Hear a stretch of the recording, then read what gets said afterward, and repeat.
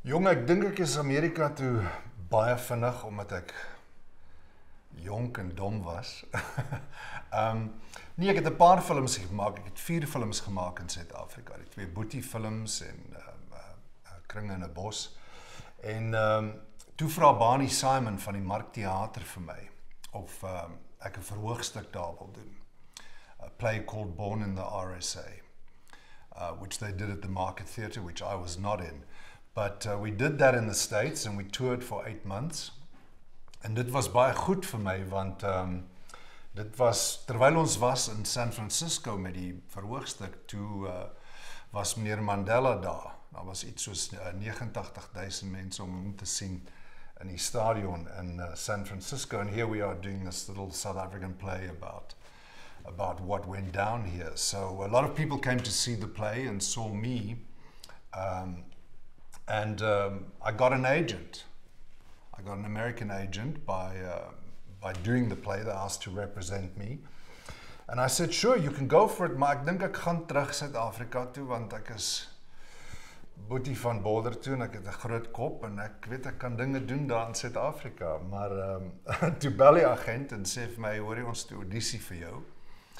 En ehm um, um, I went and did the audition and it uh, turned out to be a movie called Hard Target which was sort of a B generic action movie.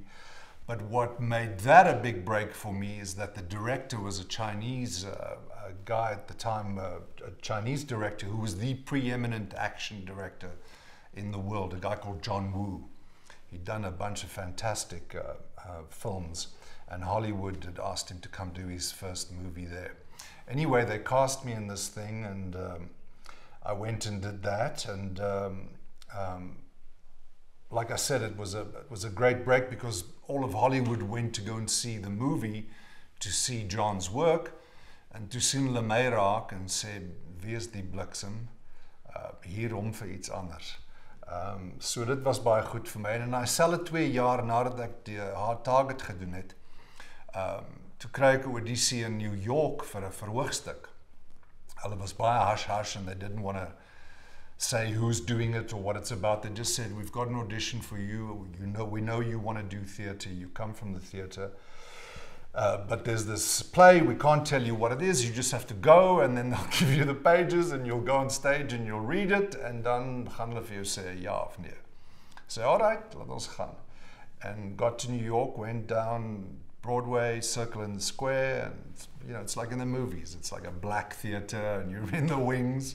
en dan sê okay nommer 63 of wat ook al jou nommer is kom come come and do your thing and I I went out and and I I looked at the lines and I knew it was uh, Oscar Wilde Salome at this point and it was the part of John the Baptist um, or Yochanan and he play anyway um, I read and then uh, they said okay go wait here.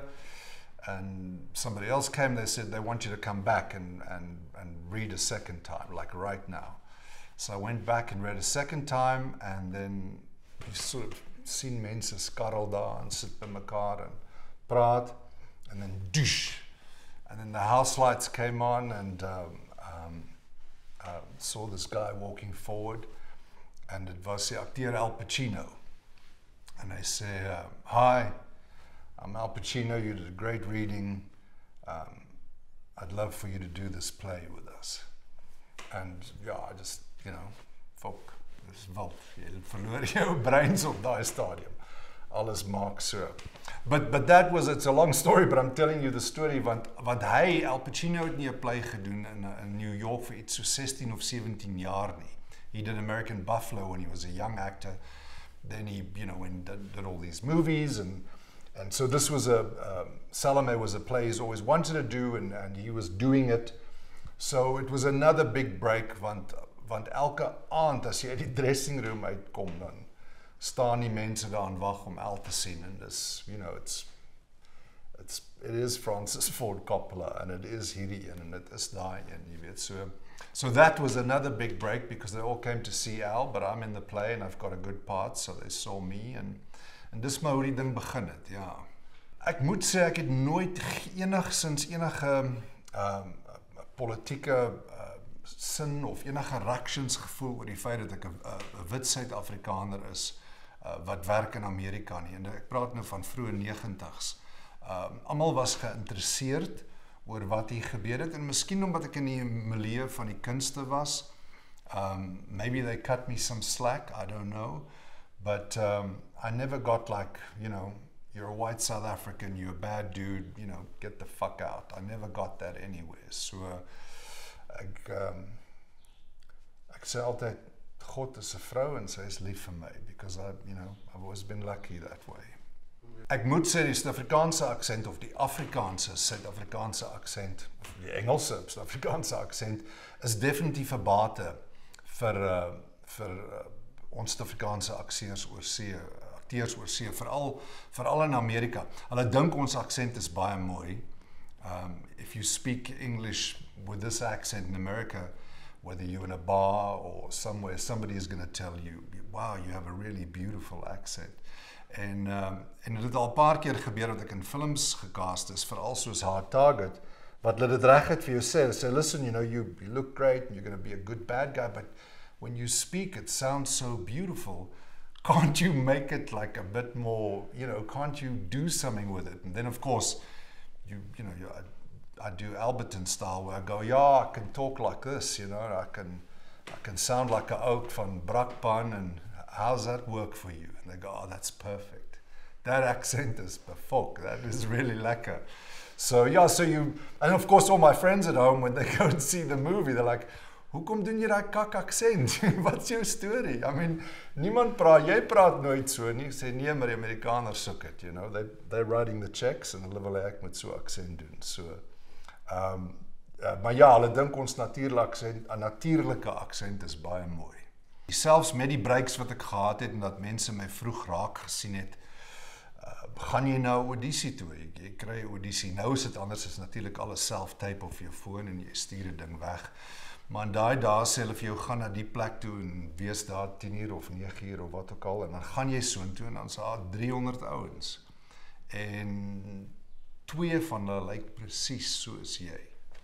En jy staan daar en jy dink, "Oké, okay, hoekom gaan ek nou hierdie job kry en nie daai ou of daai ou wat soos ek lyk like, never mind hierdie ander bloody 200 en en uh, 298 guys you know? So um dit was dit dis altyd 'n challenge that's always a challenge. En um en die feit dat ek vroeg besef het because I play bad guys and I had success playing bad guys in Hollywood early het ek vroeg besef ek gaan nooit um ek gaan nie die hoofrol speel nie. Ek gaan nie die die Amerikaanse hoofrol speel nie. Al doen nie ook 'n Amerikaanse aksent. Hulle wil hê jy moet daai ding doen wat jy laas keer gedoen het wat 'n sukses was en ehm um, and quite rightly so. Hulle het baie Amerikaners wat hulle kan hier om Amerikaners te speel. Ek het nou al 'n paar keer goed gedoen in Amerika met 'n Amerikaanse aksent, maar ehm um, ehm um, ja, yeah, they just, you know, hulle hulle wil hê ek moet hulle wil hê ek moet talk like this en mense van 'n gebou afgooi. So dis 'n challenge. Ja. Ek sou sê die die gunsteling regisseurs wat ek mee gewerk het was uh Ridley Scott in uh 1492 saam met Gerard Depardieu wat ook 'n amazing experience was om saam met hom te werk. Um as 'n mal Fransman. Uh en dan natuurlik John Woo van Hard Target van die van die want ek hou persoonlik van aksiefilms soos 'n ballet. En John uh hy het my vertel dat um toe hy begin films maak het en dat sy gunsteling films is Amerikaanse musicals. And uh you know whether it's Singing in the Rain or whatever he loves balletic movies that have lots of dancing, you know, Seven Brides for Seven Brothers and all those great American musicals and hy maak sy action movies soos musicals, ja, ons in plaas van plaas van 'n glas champagne het hulle gun in die hand tipe van ding. En veral as jy sy vroeë Chinese films kyk uh, Bullet in the Head amazing. They're just so beautiful and visual. So dis twee van my gunsteling um, um akteurs ag regisseurs. Ja en Ridley ook op 1492 is just great. Ridley Scott ja yes see Ja, dit was die eerste groot les was die skaal van die films toe ek daar kom, jy weet jy kom daar en jy is 200 ouens in die crew hier is drie kameras. Ek het nog nooit drie kameras op 'n stel gesien nie. Skielik sê hulle vir jou, "Hi, welcome. you're going to come through this window and you're going to shoot this guy and you're going to run out that door and that's the wide shot back there and there's a camera there and this one's close on you here. Okay, you ready? Action. Go. I'm like, what the fuck? I've never seen three cameras. So dit was 'n dit was 'n aanpassing, maar hulle doen dit ook omdat dit vinniger is. Jy doen daai een of twee takes as drie kameras en jy in en out en jy's klaar, jy weet. Maar dit is, dis alles op 'n baie groter skaal en dit dit het 'n rukkie gevat om gewoon te raak daaraan. Ehm um, maar dit is ook lekker om die kleiner goeters te doen. Jy weet, dis dis nie altyd oor die groot skaal nie. Veral op actionfilms het jy die het jy die geld nodig in die skaal, maar as jy iets kleiners wil doen, soos die Griekwa stad ding wat ek gedoen het of spesiaal teruggekom het om te doen, uh want ek was gatvol vir die groot skaal goed. Ehm um, dan sit lekker dan sy een kamera en 10 sent en kom ons maak 'n film.